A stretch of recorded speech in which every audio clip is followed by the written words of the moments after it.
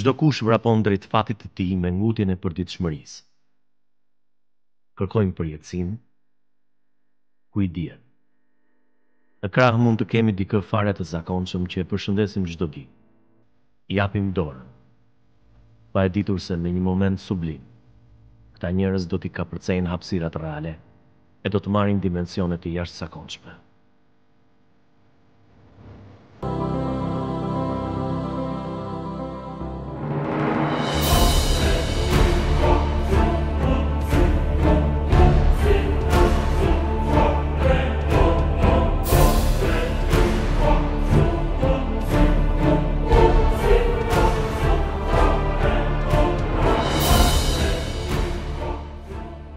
Heronj është koha ajo që i përcakton si të tillë dhe i vendos në pjedestalin e përjetësisë.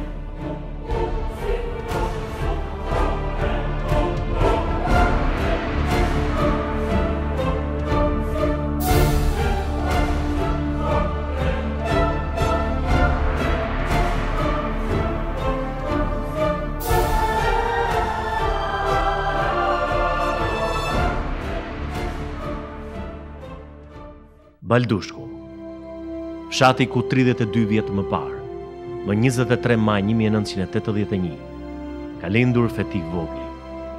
Ai ishte djali i madh i një familjeje të thjeshtë fshatare. Natyra nuk u ka kursyer këtyre njerëzve bukurinë e saj, dhe një lloj izolimi, sidomos në fshatin Rodë, ku u vendos familja e re e Bedri Voglit. Fetiu ka lindur më 23 maj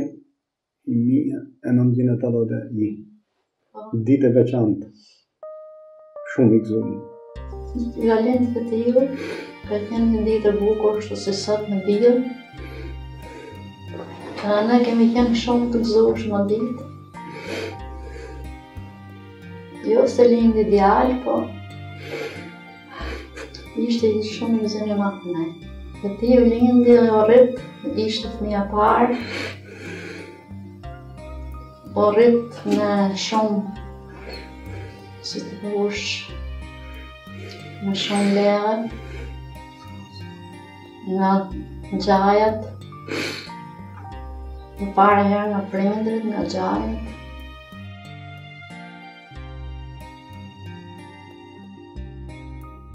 Kjo është shtëpia ku Feti Vogli ka kaluar fëmininë e tij bashkë me ne.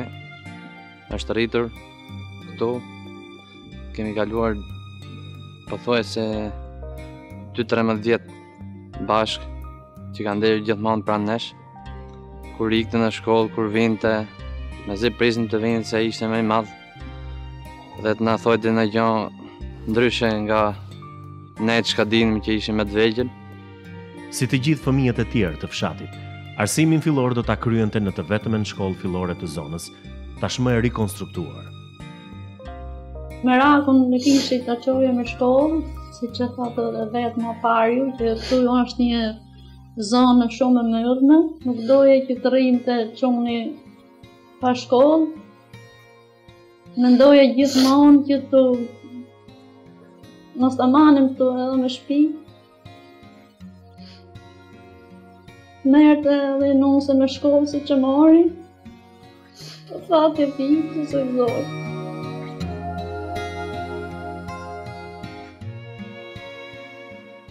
Në këtë shkollë dhe pikërisht në këtë klasë mësoi dhe nxënësi jonë i dashur, Fethi Vogli, i cili u regjistrua në këtë shkollë në vitin një mijë e nëntëqind e tetëdhjetë e shtatë dhe e përfundoi ciklin fillor në vitin një mijë e nëntëqind e nëntëdhjetë e një. Gjatë kësaj kohe katërvjeçare, ky nxënës u shqua për cilësi të larta në procesin mësimor edukativ. Ishte një nxënës i dashur me të tërë shokët dhe me mësuesit e tij.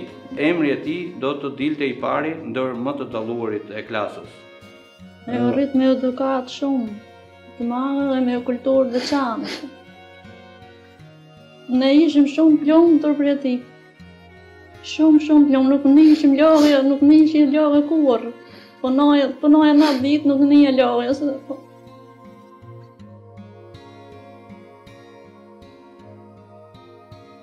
Bënim gara noti, kush del para atje, nga krahu tjetër i liqenit, dhe ktheheshim prapë. Gjithmonë ai fitonte, se ishte më i madh dhe më i shkathët.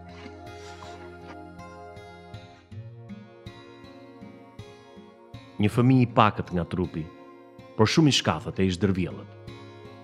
Që atëherë Fetiu spikati për shpirtin e garës edhe dëshirën për futbollin. Gjimnazin këtu e filloi. Edhe e maroi, po këtu e maroi gjimnazin. Në shkollë, shkonte përditë, ishte i rregullt në shkollë. S'bënte mungesa asnjëherë. Edhe mësonte. Këtu do të lindnin ëndrrat e para. Do të formohej karakteri i tij, por edhe kujdesi për vëllanë dhe motrën më të vogël, një dashuri e thjeshtë dhe shpirti i sakrificës. Ishte shumë shumë i dashur. Ai kishte një humor, bënte sikur i të dy mot vejtë të zinte gjoja me njëri-tjetrin i lëgaton të ai kishte një humor të veçantë, jo si gjithë të tjerët. Rrobat ushtarake e tregonin një burrë më të madh, më të rritur, më të pjekur. Ishte shumë, shumë i veçantë, dukej edhe paraqitja e tij ishte shumë ndryshe nga ç'ishte në jetën e përditshme. Ka qenë gjithmonë një mbështetje, ngaqë ishte më i madhi i familjes, fëmija i parë, ishte një anë pozitive për ne. Unë me Fetiun kam qenë shumë e lidhur bashkë, se ai ishte 5 vjet para meje. Ai u kujdeste shumë për mua, shkonim shkollë bashkë, më merrte. Më mungon Fetiu. Shumë çdo gjë. Qeshurat e tij, shakatë e tij.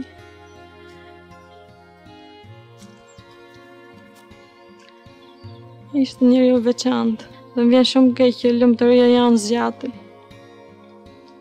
Shumë pak.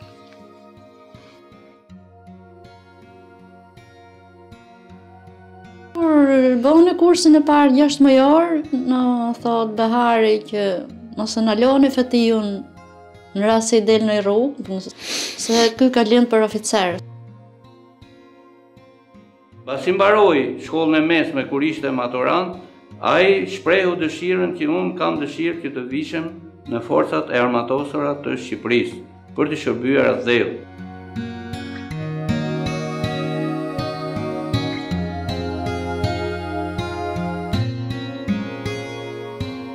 Asgjë nuk ndodh rastësisht. Pjekuria e kahershme, dëshira për të ecur përpara e për të lënë një gjurmë në jetë, e shtyn djaloshin e ri të ndiqte ëndrrën për t'u bërë ushtarak. Familje, atdhe, nuk janë thjesht fjalë për Fetiun, por një nocion sublim që do ta motivonte të ishte modeli i disiplinës e përkushtimit gjatë viteve që ndoqi Akademinë Ushtarake Skënderbej. Ishte shtator i vitit 1999. Ushtrinë domethënë e kishte shumë në gjak. E kemi mbaruar shumë çuna, e shumëkush si unë që e ka bërë thjesht aj për ta pasur një shkollë, kurse e kishte në gjak atë, i pëlqente si misionet, stërvitjet, përmbytjet që ka marrë pjesë në Shkodër e në vende. Madje edhe rroba dhe beretat i ka blerë në eBay, si kapelet ato amerikane, uniforma, lloj-lloj që blinte në internet. Ka pas me pasion thjesht, nuk është se Hajt, duhet të punoj, unë kam një punë e ta bëj atë, po ai e kishte thjesht pasion atë gjë. Momentin që lashë ushtrinë unë, më thoshte sa herë, puno dhe pak se kur të bëhem gjeneral, unë thoshte, do të marr shofer. Fillimi i studimeve në shkollën ushtarake, shënon për Fetiun një ngjarje të rëndësishme në rrugën e tij si ushtarak karriere, si dhe të formimit të karakterit e personalitetit të tij. Ishte një student sistematik, i prirur për shkencat ekzakte dhe sportet. Mbaj mend që përveç të tjerave, Feti Vogli spikatej për anën e tij fizike. Kur ai kapte normat dhe gjithmonë nga ato norma nga më të mirat dhe ne e ndjenim veten afër tij, ne thoshim që ah, ne tani jemi në rregull. Më vonë kur dolën rezultatet e notave, mua më ndeshi fati që t'isha në një klasë me Fetiun. Jeta e studentit ushtarak është jetë goxha e privuar në raport me studentët e fakulteteve të tjera, mirëpo ne duke qenë shumë të lidhur me njëri-tjetrin dhe kompakt, madje Fetiu ishte njeri që gjeneronte humor, ishte njeri spontan. Me thjeshtësinë, sjelljen, qetësinë, humorin e urtësinë e tij që i buronin nga shpirti, Fetiu shumë shpejt do të fitonte respektin e shokëve të tij të klasës. Ishte njeri i qetë, ishte njeri jo konfliktual. Mbaj mend me me shokë të tjerë që në rast acarimesh, në rast tensionesh, ngrihej dhe bënte diçka që u tërhiqte mendjen të gjithëve dhe aty binin gjakrat gjithmonë. Pas mbarimit të Akademisë Ushtarake në vitin 2002, ai titullohet oficer në specialitetin Artileri Tokësore me gradën e nëntogerit. Fetiu bëhet pjesë e Forcave të Armatosura, me detyrë komandant toge, në Brigadën e Stërvitjes së Bazës, Bunavi. Ne jemi njohur në Vlorë, ai ka qenë në Bunavi në punë, edhe unë kam qenë në shkollë të mesme, në vit të katërt. Në nëntë gusht të 2007-ës u fejuam, Pastaj vazhduam normalisht fejesën që si gjithë të tjerët.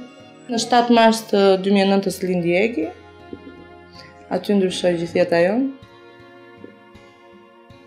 Ishte, për atë një, ishte një gjë shumë me, me kushme, ishte shumë i përkushtuar ndaj Egit, ishte shumë i dashur. Si gjithë babalarët, po për mua ishte shumë ndryshe, jo si gjithë babalarët, sepse bënte shumë shumë. Na ndanin vetëm Detyrat e punës, kurset e shumta që bënte jashtë. Në nëntor të vitit 2009, Fetiu emërohet zëvendëskomandant grupi në Farkë. Po kështu në vitin 2009, transferohet në Zall-Herr, ku merr detyrën si komandant i grupit të 5 special. Tashmë Feti Vogli ishte afirmuar si ushtarak i talentuar. Ëndrra e tij po merrte formë.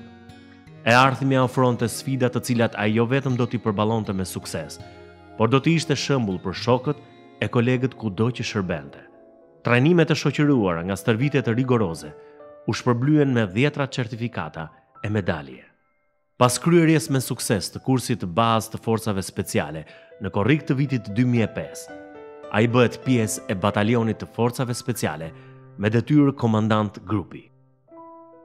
Përgjithësi, komuniteti i Forcave Speciale është i vogël dhe duke qenë komunitet i vogël, tepër profesional, secili nga ne e njeh mirë njëri-tjetrin, por Fetiu me shakatë e tij i mungon repartit, pa dyshim i mungon repartit, i mungon grupit, na mungon gjithë neve, ka qenë një personalitet i jashtëzakonshëm, i cili bënte shumë për grupet, bënte shumë për kolegët e, e vet, kishte pasion notin, zhytjen, prandaj zgjodhi edhe kompanin, kompanin e operacioneve të luftimit nën ujë. Përpara se të shkonim në mision, patëm organizuar stërvitje të ndryshme, Një stërvitje ujore me kompaninë e zhytjes në qendrën polumbare në Pashaliman, ku komandant Tiu si gjithmonë dalloheshe për aftësit e tij të zhytjes, edhe ishte një ndër, po themun, udhëheqësit e parë për çdo veprim që ne bënim në lidhje me zhytjen. Gjithashtu, kur morëm dhe certifikatat e zhytjes, ishte një më i dalluar ose nga më të mirët e kompanisë. Trajnimin e parë për zhytjen në thellësinë dhjetë deri në tridhjetë metra, kapiten Vogli e kreu në vitin dy mijë e shtatë, duke u certifikuar nga Qendra Polumbare e Zhytjes. I pari në çdo stërvitje, i pari në çdo sakrificë, kurrë nuk thoshte u lodhëm, u lagëm, kemi ftohtë, nuk kemi bukë, Një grup special ka 12 vetë. Edhe ne ata, ne ata, ata 12 që jemi, jemi si thuash ti, sikur gishtat e dorës, si një grusht i bashkum. Si profesion kishte drejtimin e grupit, kishte mënyrën e komunikimit. Cilësi e tij ishte se ai asnjëherë nuk e linte, nuk i jepte shkas grupit për t'u shpërndarë. Po gjithmonë ka qenë vetë që dilte i, pra, i pari para, i printe grupit.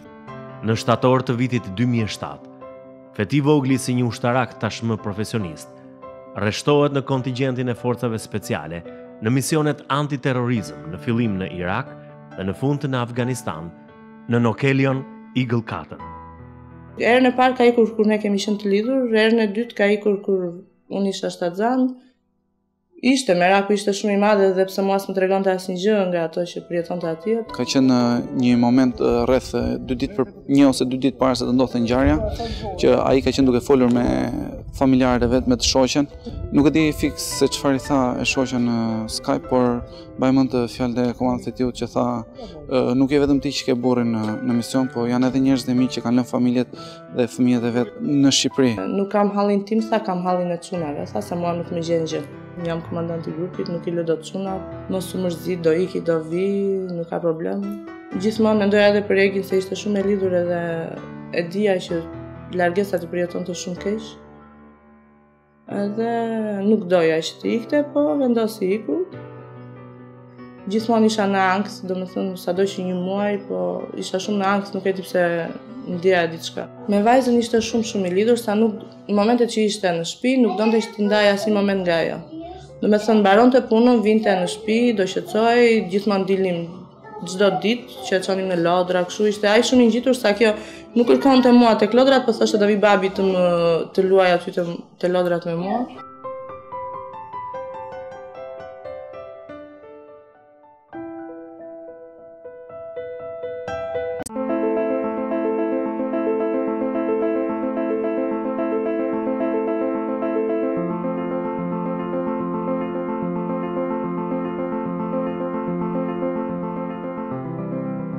Çdokush vrapon drejt fatit të tij me ngutjen e përdi.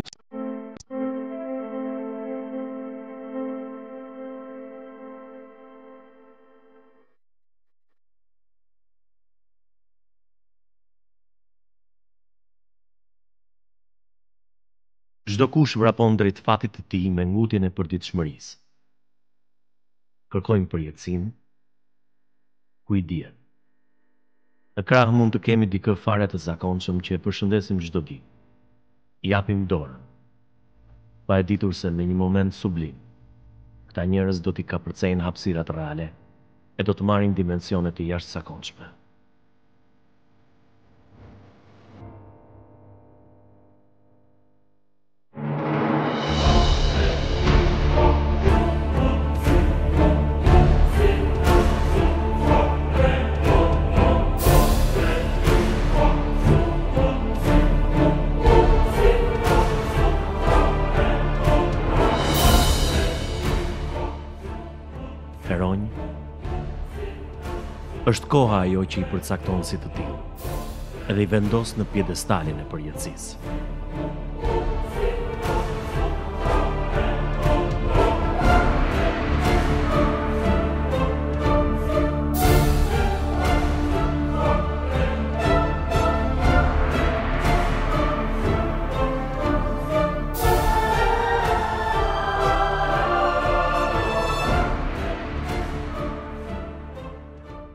Baldushku, fshati ku 32 vjet më parë, më 23 maj 1981, ka lindur Fetik Vogli. Ai ishte djali i madh i një familjeje të thjeshtë fshatare. Natyra nuk u ka kursyer këtyre njerëzve bukurinë e saj, po izolimi si... Kështu si sot në diell, ne kemi qenë shumë të gëzuar atë ditë. Jo se lindi djalë, po ishte një shumë një zënë më të ne. Feti u lind dhe u rrit, ishte fëmija i parë, U rrit me shumë si të thush me shumë lehe nga xhajat në pare herë nga prindrit nga xhajat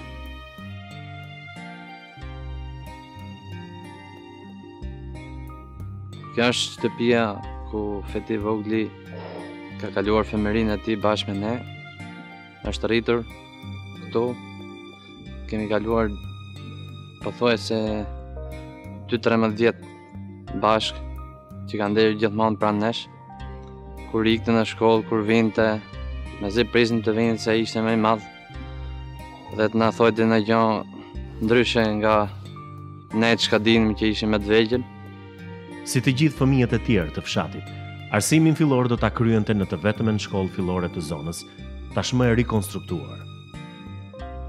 Merakun e kishim ta çojmë në shkollë, siç e thatë edhe vetë më parë ju, që këtu është një zonë shumë e mëdhme, nuk doje që të rrinte çuni pa shkollë. Mendoje gjithmonë që të mos ta manim këtu edhe me shtëpi, Merte dhe nuse me shkollë siç e mori Të fatë e pitë se zërë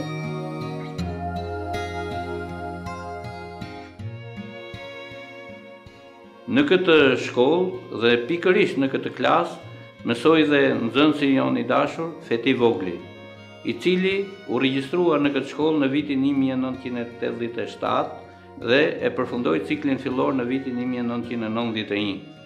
Gjatë kësaj kohe katërvjeçare, ky nxënës u shqua për cilësi të larta në procesin mësimor edukativ.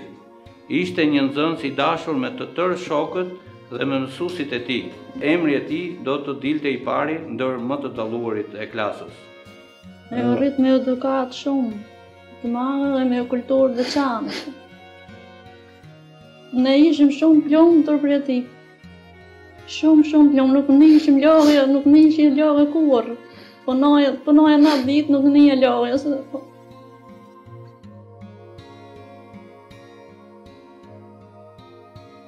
Bënim gara noti, kush del para atje, nga krahu tjetër i liqenit, dhe ktheheshim prapë. Gjithmonë ai fitonte, se ishte më i madh dhe më... i shkathët.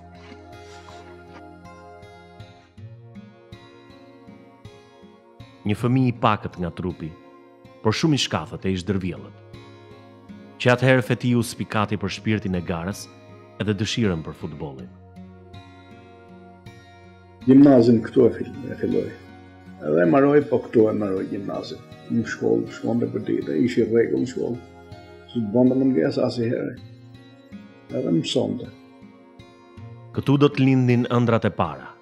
Do të formohej karakteri i tij, por edhe kujdesi për vëllanë dhe motrën më të vogël, një dashuri e thjeshtë dhe shpirti i sakrificës. Ishte shumë shumë i dashur. Ai kishte një humor, bënte sikur i të dy mod vejgjit të zinte gjoja me njëri-tjetrin e i laton të, ai kishte një humor të veçantë, jo si gjithë të tjerët. Rrobat ushtarake e tregonin një burrë më të madh, më të rritur, më të pjekur. Ishte shumë, shumë i veçantë, dukej edhe paraqitja e tij ishte shumë ndryshe nga ç' ishte në jetën e përditshme. Ka qenë gjithmonë një mbështetje, ngaqë ishte më i madhi i familjes, Fëmija i parë ishte një anë pozitive për ne. Unë me Fetiun kam qenë shumë e lidhur bashkë, se ai ishte 5 vjetë para meje. Ai u kujdeste shumë për mua, shkonim shkollë bashkë, më merrte. Më mungon Fetiu shumë, që t'i janë, qeshurat e tij, shakatë e tij.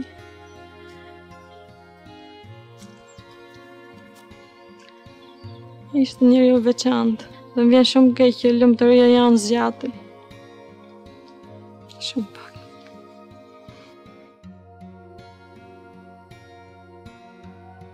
Kur bënë kursin e parë gjashtë mujor, na thotë Behari që mos e ndaloni Fetiun në rast i delni në rrugë, se ky ka lind për oficer. Pasi mbaroi shkollën e mesme kur ishte maturant, ai shprehu dëshirën që unë kam dëshirë që të vishem në Forcat e Armatosura të Shqipërisë për t'i shërbyer atdheut.